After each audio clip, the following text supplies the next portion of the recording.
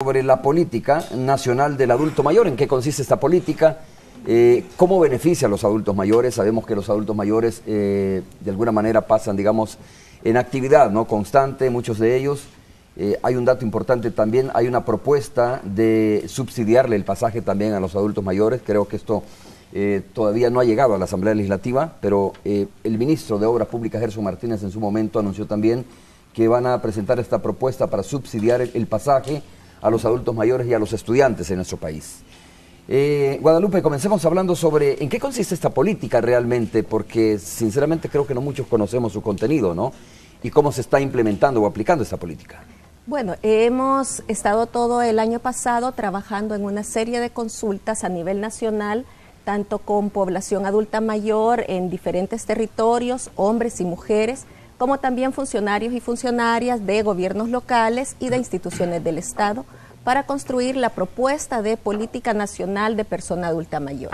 Esta es todavía una propuesta, que vamos a someter a conocimiento y a valoración del señor presidente de la República el próximo 28 de, de, enero. Vamos a hacer la entrega formal por parte del Consejo Nacional de Atención Integral a la a las personas adultas mayores del CONAIPAM eh, para que él emita la política pública como son los lineamientos del Estado. Eh, pero la política pública es, en, realidad, es una apuesta prioritaria a la población adulta mayor en El Salvador, que no solo lo requiere, sino que lo necesita urgentemente.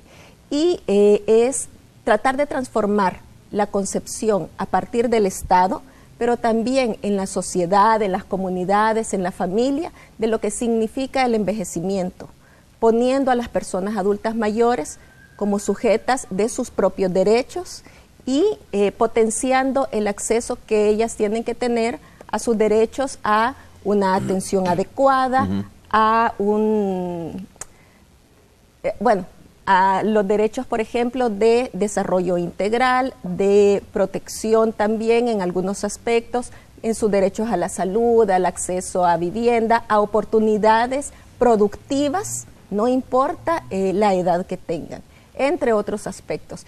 Y un, un, punto muy, muy importante en la política es el desarrollo de toda la parte que implica la eliminación de la discriminación en razón de su edad, y la potenciación del buen trato hacia las mm, personas adultas ¿En qué aspectos es discriminado una persona adulta mayor? En muchísimos aspectos. Eh, por ejemplo, hay dentro de la sociedad, no solo salvadoreña, en muchísimos países de la región lamentablemente, hay una concepción de que las personas adultas mayores eh, tienden a volverse como niños y niñas. Y en ese sentido, las familias, la comunidad, funcionarios y funcionarias también que tienen que atenderlos en diferentes instituciones de salud, pero también del sistema financiero, muchas otras, le restan su eh, autonomía. Por ejemplo, eh, si, por ejemplo, si yo voy con mi madre o mi padre donde el médico, el médico muchas veces, en lugar de hablar directamente con la persona adulta mayor, quieren hablar con el hijo o hija explicarles a ellos, preguntarles, eh, tratando a la persona adulta mayor como que ya no tiene la capacidad de valerse por sí misma o de tomar sus propias decisiones. Ese es, como un ejemplo muy sencillo, un mecanismo de discriminación. Cuando se trata a la persona adulta mayor como que ya no tiene derecho a participar en la vida comunitaria, eh, como que ya no tiene derecho a ser bien tratada con dignidad. En la forma como referirse a la persona, ¿no? Como, perdón por el término, como por ejemplo cuando dicen la viejita o el viejito, cuando en realidad es una persona adulto mayor. Correcto. Eh, bueno, eh, la pregunta, Guadalupe, es, ¿hace falta y era necesaria una política? Porque en realidad esto es como de sentido común, ¿no? Eh, muchos de estos aspectos, digo, de cómo tratar a los adultos mayores, de darles su lugar es como de sentido común realmente. Eh, pues lamentablemente al parecer no hay mucho sentido común en eso todavía y hay que construirlo. Eh, quizás tendríamos que, en primer lugar, determinar cuál es la situación de las personas adultas en El Salvador. Y ese es un trabajo que hemos estado impulsando muy fuertemente desde la Secretaría de Inclusión Social.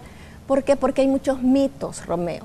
Hay muchísimos mitos sobre el envejecimiento y el rol de las personas adultas mayores.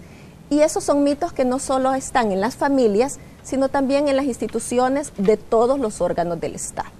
Y, una política eh, lo que hace es indicarle al país cuáles son las rutas que tiene que trazar para garantizar todos los derechos de las personas y cómo hacer que las personas tengan un acceso efectivo a esos derechos. Entonces establece unas líneas de trabajo y unos compromisos que las instituciones asumimos como propios y los traducimos ya en nuestros planes de trabajo. Derechos